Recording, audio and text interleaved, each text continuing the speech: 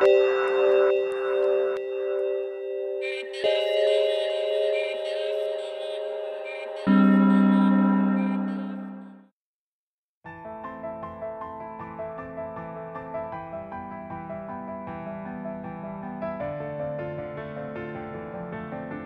I'm Liam Phillips. I'm 27 years old.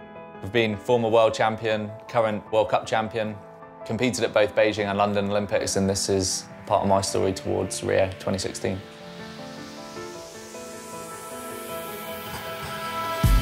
We're here in Manchester, this is my home. Although I didn't grow up here, it's somewhere that I've relocated to further my BMX career. I dreamt of growing up in California and riding my bike and doing the American series. All of a sudden I'm here in Manchester training in an indoor facility. First and foremost, I, I ride bikes because I love it and that hasn't changed since the first day that I started.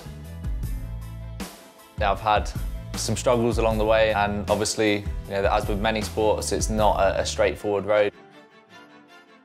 I started playing team sports like football and if we won as a team or if we lost, I would be happy with that, but it would frustrate me massively when I was turning myself inside out to try and deliver the best for the team and I'm stood there next to players that yeah, just really didn't care and that was something that I found really, really difficult.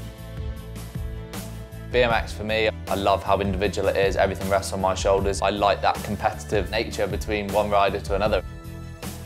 It's a point A to point B, you know, who gets there the fastest, you know, and you can replicate that with your friends out on the street doing a sprint. That's something that I really, really enjoyed was the competitive nature of just trying to race.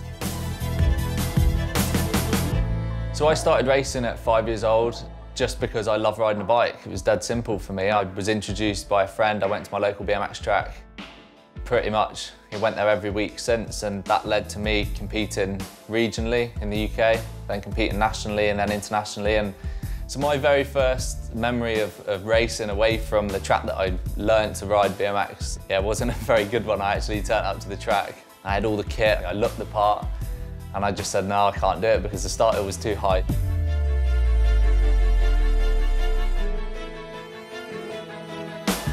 At 16, 17, 18 years old, you understand that you, know, you need to be stronger and you need to be more powerful to, to get a good start. And a lot of my training focus went away from the bike and into other forms of training, like strength training and, and gym training. And I learned very, very quickly that, okay, I was able to produce more power and be stronger on the bike, and therefore I was faster. I was nowhere near as good technically, and within sort of six months of racing in the junior ranks, I crashed and had surgery on my shoulder. I was getting faster, but I almost didn't know how to control that speed. Unfortunately, I found out the hard way. I've had I think five or six shoulder surgeries now and certainly had my fair share of injuries. I didn't have a, a surgery-free season for five years. I was super, super lucky to have a really supportive family. They provided me with you know, the assistance to go to these races, not just around the country, but also travelling all over the world.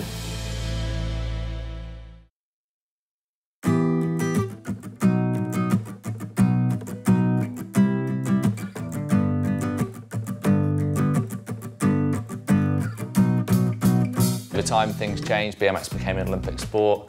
With that, British Cycling took BMX under their umbrella and all of a sudden my focus did shift slightly and, and I could turn this hobby per se into, into a career here in the UK. So I left school and basically moved to Manchester as soon as I could. When BMX was first introduced to the Olympics, everything was up in the air. Nobody knew what to expect from the Olympic Games. You know, from British cycling standpoint, they saw me as a 19-year-old at the time, and it was my future development towards gold at an Olympic Games in some point in the future. I obviously went to Beijing as an extremely young athlete. I never thought that I'd go and win a medal or make the final. The race was, for me, almost like secondary to the actual experience. You are in a bubble, it's, and it's just completely different to anything else you'd ever experienced. I know the dining hall in London was capable of seating 12,000 people. My dinner table can seat six.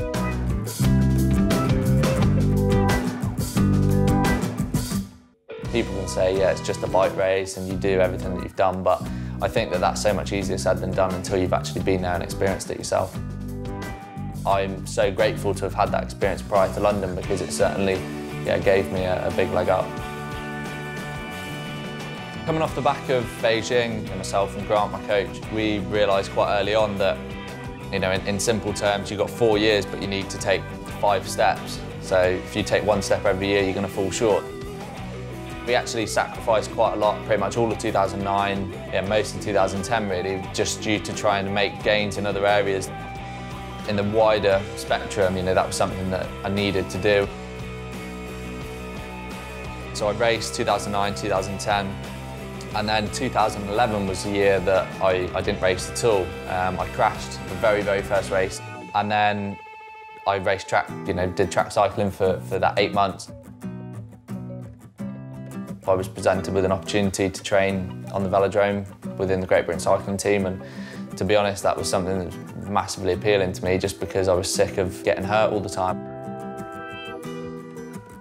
That time away made me realise why I do BMX and that's going right back to those early days of just enjoying riding my bike and I wasn't having that same enjoyment going around in circles. You know, I'm not being disrespectful to track cycling, but it's, it's not BMX. Within a few months, I, I knew that BMX was going to be calling my name again.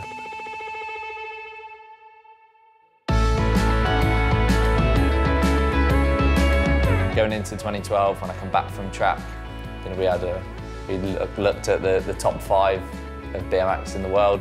You had guys like Joris, Connor, Sam, Maris, and Marc Willers. You know, they, were, they were the five guys that were really dominating the sport at that time. And I wanted to break into that. I wanted to be one of those guys. So that for me was, you know, how do I go about that and set a plan as to, to try to make that happen. And coming into 2012, you know, those races, I felt like I had, you know, I, I sort of bridged the gap and, and was capable of being in that group. Obviously injuries do play a massive part in our sport and over time I have been resilient and I have learned to deal with those injuries and I crashed 10 weeks before London, was carried out of the arena at the World Championships on a spinal board with broken collarbone and shoulder blade and unfortunately it is part of our sport and something that everybody does experience at some point. Heading into London, I had this four-year plan and I felt like I was competitive and that was, you know, I guess the biggest challenge. Had surgery 10 weeks prior, which is not ideal prep.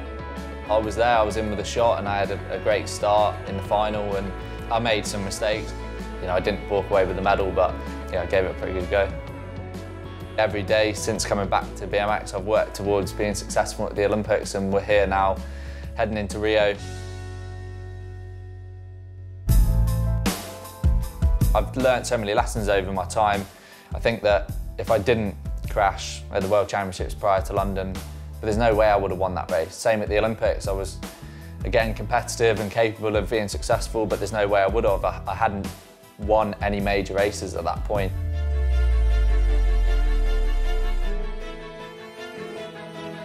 I've been world champion in 2013. I've won numerous World Cup races now and I think that I've been able to do that off the back of you know 20 years of BMX. I love racing now. I had a fantastic year last year. I won obviously three World Cups. Yeah, that's like a dream season for me and if I can sort of emulate that, head into Rio and perform to my absolute best, then what will be will be.